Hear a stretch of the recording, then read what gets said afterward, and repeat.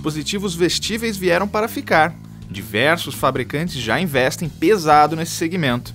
Samsung, atual líder de mercado com smartphones Android, lançou junto com o Galaxy S5 o Smartwatch Gear 2, a versão mais robusta do seu relógio inteligente. A ideia é oferecer ao consumidor um relógio inteligente e completamente conectado ao smartphone, para tornar mais fáceis algumas tarefas do dia a dia. Mas será que vale a pena? Diferente do Gear Fit, o Gear 2 se parece mais com um relógio convencional do que com uma pulseira. O aparelho tem um acabamento em alumínio bastante elegante e a pulseira emborrachada. A tela touch de 1,68 polegada é Super AMOLED. E o Gear 2 conta com um sensor de batimentos cardíacos na parte de baixo do aparelho. Ainda um botão de energia, a lente de uma câmera e um sensor de infravermelho.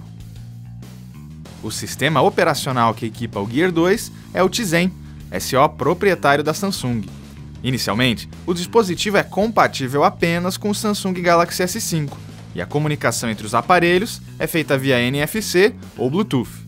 Para utilizar o smartwatch, você precisa sincronizar ele com o smartphone.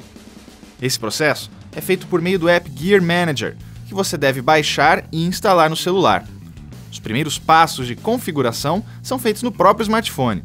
No aplicativo, você pode escolher o que vai aparecer no relógio. Muitas das funções presentes no Gear 2 são as mesmas do Gear Fit, que já abordamos na análise do aparelho.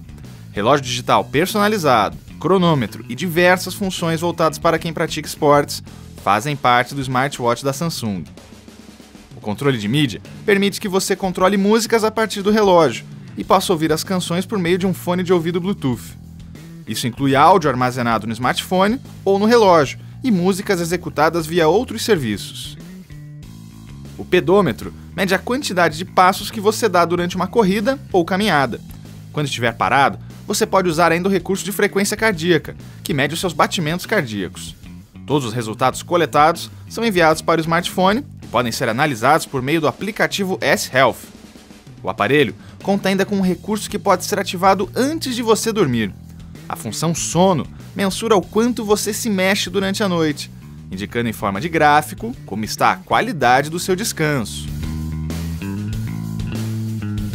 A versão mais robusta do relógio inteligente da Samsung traz ainda outros diferenciais. O Gear 2 conta com uma câmera de 2 megapixels, que permite que você tire fotos no melhor estilo espião. Mas o som do disparo da foto não pode ser desabilitado, o que torna o acessório menos invasivo. Além da câmera, o Gear 2 conta com um discador, sendo possível fazer e receber chamadas por ele. A sua agenda de contatos e o histórico de notificações também ficam disponíveis e podem ser acessados por ícones específicos. Você pode gravar lembretes de voz ou utilizar o recurso S-Voice. Por fim, você pode aposentar o controle remoto da sua TV, já que o Gear 2 tem sensor de infravermelho para assumir o comando da sua telinha.